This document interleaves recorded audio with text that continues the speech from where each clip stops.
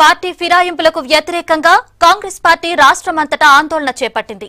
సీఎల్పీని TRS ఎల్పీలో విలీనం చేయటాన్ని నిరసిస్తూ ప్రభుత్వ కార్యాలయాలను ముట్టడించింది. సీఎల్పీ విలీనంతో అసెంబ్లీలో ప్రతిపక్షం లేకుండా చేయాలని కేసీఆర్ కుట్ర పన్నుతున్నారని కాంగ్రెస్ నేతలు ఆరోపించారు. రాష్ట్రంలో అప్రజాస్వామిక పాలన నడుస్తుందని విమర్శించారు. కాంగ్రెస్ ఎమ్మెల్యేలను పార్టీలో చేర్చుకున్న టీఆర్ఎస్కు ప్రజలే బుద్ధి చెబుతారని హెచ్చరించారు.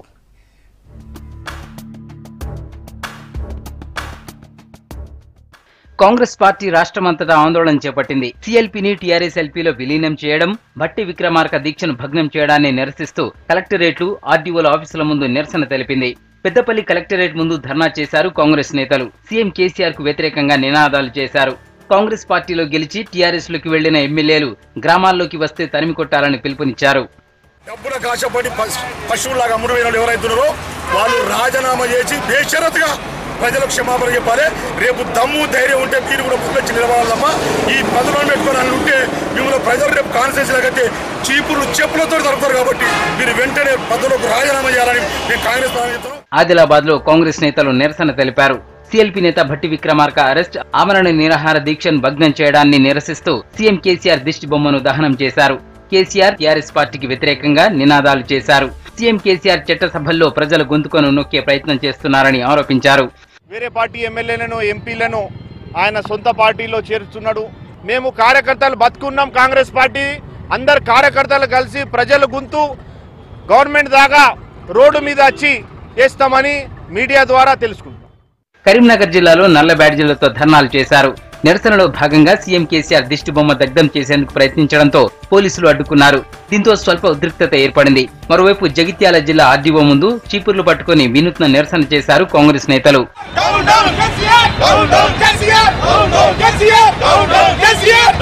కేసీఆర్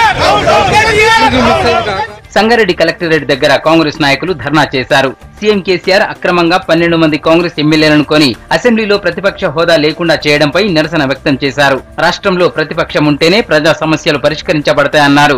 జిల్లా కాంగ్రెస్ అధ్యక్షురాలు నిర్మలా జగ్గారెడ్డి.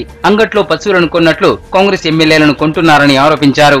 ఆ పన్నెండు మందిని పైసలు పెట్టి కొనే కంటే ఆ పైసలు ప్రజల ఖర్చు పెడితే ప్రజలకు ఏమన్నా లాభం అవుతుంది కానీ మరి కోట్లు కోట్లు వంద వంద కోట్లు ఒక్కొక్కరికి ఇచ్చి పన్నెండు మందిని కొంటే మరి ఈరోజు ప్రజలకు మరి ఏం న్యాయం చెప్తారు ఏం ధర్మం చేస్తారని అడుగుతున్నాం. కాంగ్రెస్ పార్టీలో గెలిచి టీఆర్ఎస్లో చేరిన ఎమ్మెల్యేలను బర్తరఫ్ చేయాలని డిమాండ్ చేస్తూ ఖమ్మంలో కాంగ్రెస్ నేతలు ఆందోళన చేశారు. రాష్ట్రంలో ప్రజాస్వామ్యాన్ని సీఎం కేసీఆర్ ఖుని చేశారని ఆరోపించారు. భట్టి విక్రమార్క దీక్షను భగ్నం చేయడాన్ని నిరసిస్తూ ర్యాలీని నిర్వహించారు. జిల్లా కాంగ్రెస్ పార్టీ ఆఫీస్ నుంచి కలెక్టరేట్ వరకు ర్యాలీ నిర్వహించారు. తర్వాత కలెక్టరేట్లోకి వెళ్ళేందుకు ప్రయత్నించిన నేతలు కార్యకర్తలను పోలీసులు అడ్డుకున్నారు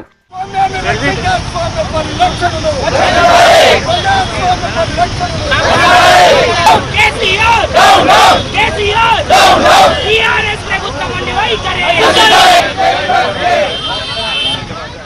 తెలంగాణ రాష్ట్రంలో ప్రజాస్వామ్యాన్ని పూర్తిగా విస్మరించి దొడ్డిదారిన మరి ఎమ్మెల్యేలను కొనుగోలు చేస్తూ అనేక రకాల ఆశలు చూపెట్టి ఇక్కడ అసలు తెలంగాణలో ప్రజాస్వామ్యంలో ఎటువంటి ఎదురు ప్రశ్నించేవాడే ఉండకూడదనే ఉద్దేశంతో ఈ కేసీఆర్ తీసుకుంటున్నటువంటి నిరంకుశత్వ నిర్ణయాలకు వ్యతిరేకంగా అటు సూర్యాపేట జిల్లా కలెక్టరేట్ ముందు కాంగ్రెస్ నేతలు ధర్నా చేశారు.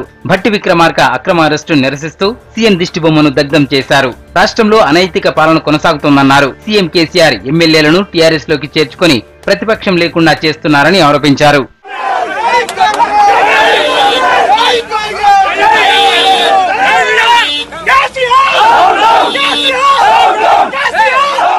టీఆర్ఎస్ ఎల్పీలో సీఎల్పీ విలీనం భట్టి విక్రమార్క ఆమరణ దీక్ష భగ్నం చేయడాన్ని నిరసిస్తూ మహబూబ్ నగర్లో కాంగ్రెస్ నేతలు ఆందోళన చేశారు. జిల్లా కాంగ్రెస్ ఆఫీస్ నుంచి ర్యాలీగా బయలుదేరిన నాయకులు కలెక్టరేట్ ముట్టడికి ప్రయత్నించారు. పోలీసులు వారిని అడ్డుకోవడంతో రోడ్డుపై బైఠాయించి రాస్తారోకో చేశారు. కాంగ్రెస్ పార్టీ ఎమ్మెల్యేలను అధికార బలంతో భయపెట్టి టీఆర్ఎస్లో చేర్చుకోవడాన్ని వ్యతిరేకిస్తూ సీఎం కేసీఆర్ దిష్టిబొమ్మను దహనం చేశారు.